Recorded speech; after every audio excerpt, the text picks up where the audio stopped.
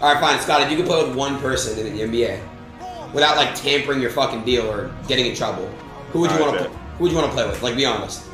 OG Anunoby. Who? OG. Who's OG? Look him up. Greatest player to ever play the game of basketball. Who?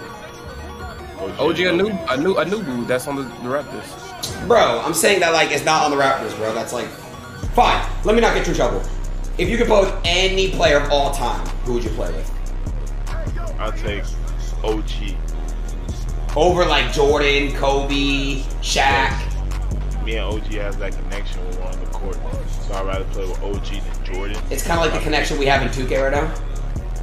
Yeah, low key, but you pass me a little more. Sorry,